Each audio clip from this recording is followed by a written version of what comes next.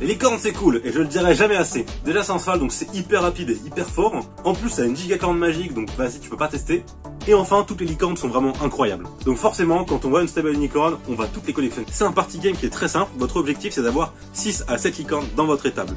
Pour ce faire, c'est pas compliqué, à chaque tour, vous allez poser des cartes dans votre étable. Ça peut donc très bien être des licornes, mais aussi des avantages qui vont vous aider dans la suite. Ce qui fait que vous pouvez très bien poser des malus chez les adversaires pour les ralentir. C'est un jeu où vous allez tout le temps vous faire des crasses, parce que du coup, vous allez pouvoir défausser les licornes des autres, les échanger, leur voler même, et ainsi de suite. C'est donc un jeu qui est très facile, mais qui reste quand même très stratégique, parce que ça peut aller très vite.